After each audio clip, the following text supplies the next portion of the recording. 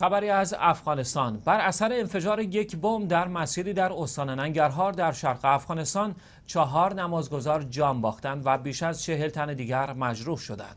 به گفته عطاالله خوگیانی سخنگوی والی ننگرهار این انفجار زمانی رخ داد که تعدادی زیاد از مردم در مسجد جامع حسارک در ولسوالی رودات جمع شده بودند.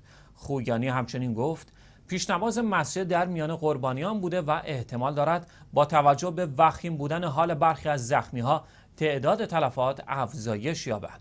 بر اساس اظهارات وی این رویداد بر اثر انفجار مواد جاسازی شده در منبر این مسجد رخ داده است. هنوز شخص یا گروهی مسئولیت این حمله را بر عهده نگرفته است. منطقه وقوع این حادثه در 120 کیلومتری شرق کابل پایتخت افغانستان قرار دارد.